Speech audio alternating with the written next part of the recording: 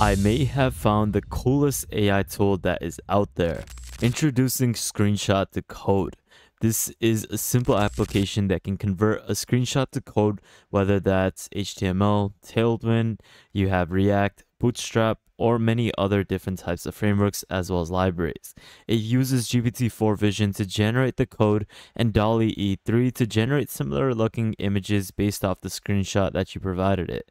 You can now also enter a URL to clone a live website, which is also really amazing and convenient.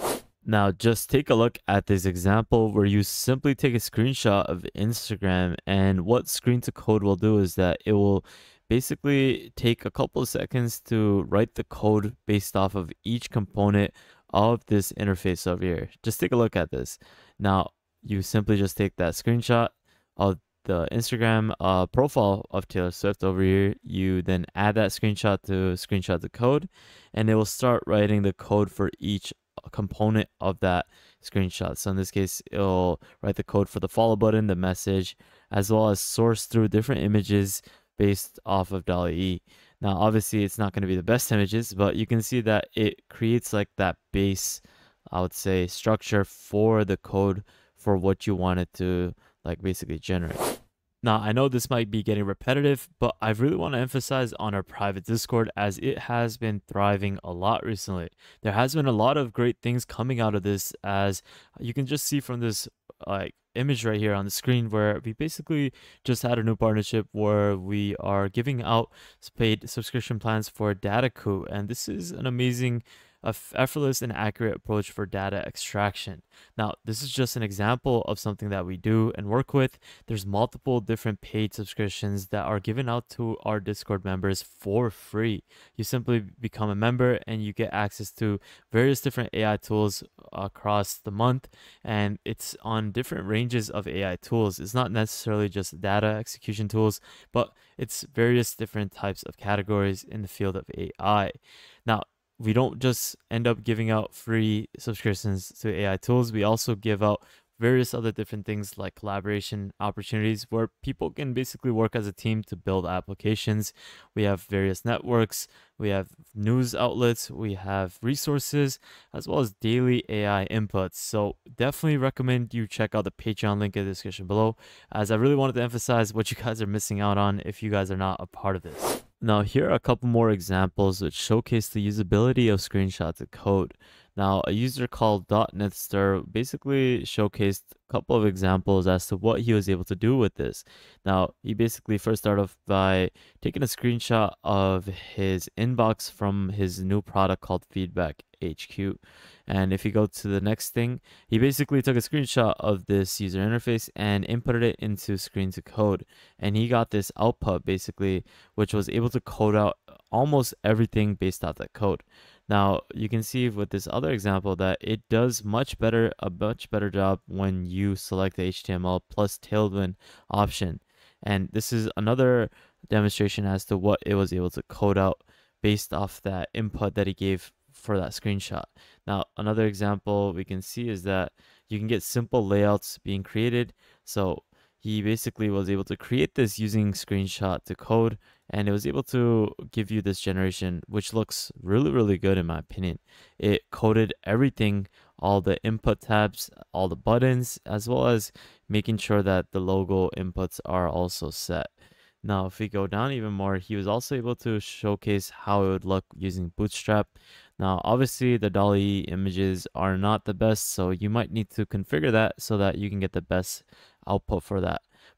You can get a gist out of this. It's going to be something that anyone can use to code out a fully functional uh, page, whether that's a sign up page, dashboard, or any sort of thing that you truly want to code within a couple seconds using GPT-4 Vision within screenshots of code.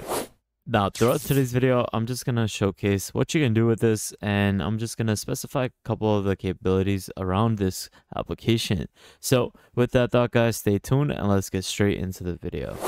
If you would like to book a one-on-one -on -one with me where you can access my consulting services, where I can help you grow your business or basically give you a lot of different types of solutions with AI, definitely take a look at the calendar link in the description below.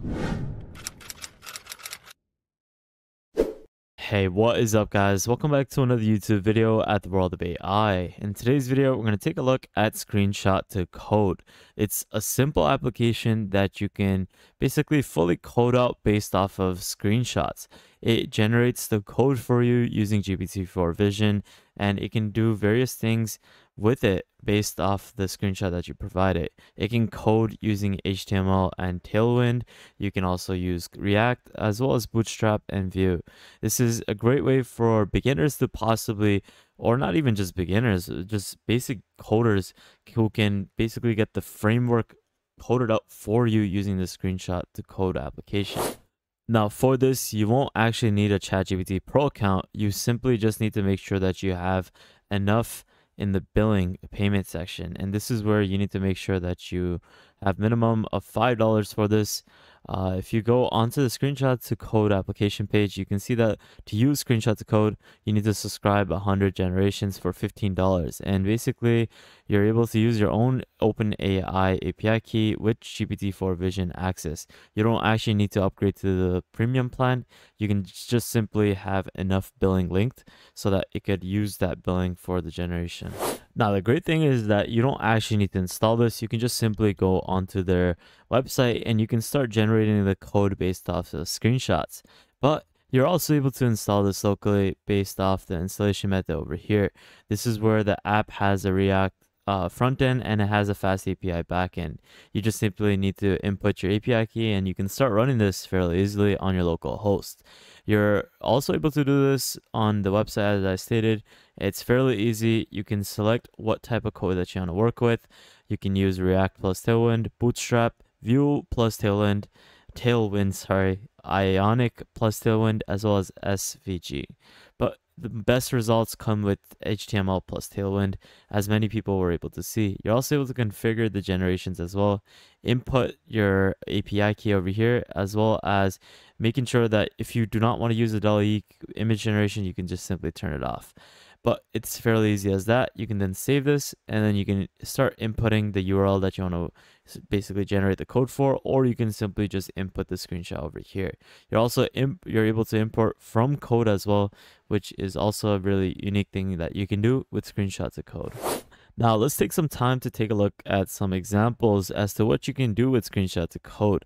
You can see that it was able to create a replica of the New York Times blog post with a simple screenshot, it was able to create the base code framework for that blog post. And you can see that even replicated some of the images using DALL-E. Now, obviously, if you go down, you can we saw this Taylor Swift example, but if you go down even more, we can see that Hacker News was also something that they were able to replicate, but it gets the colors wrong at first, so they actually nudged it to improve it. Now, if you click on this, let's take a look at this example.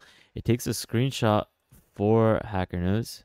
Okay, now once they have taken the screenshot, they inputted it into screenshot to code, and we can see that it's giving you the code. You can preview how it looks as well as it gives you the code for it. So in this case, you can also like refix certain generations by telling them or not telling them but telling screenshots of code to adjust certain things and in this case it tells it to change the header it changes the background it changes you can even ask it to change the font and this is the great thing about this because you can work hand by hand with this tool to basically generate whatever you want based off the context that you give it.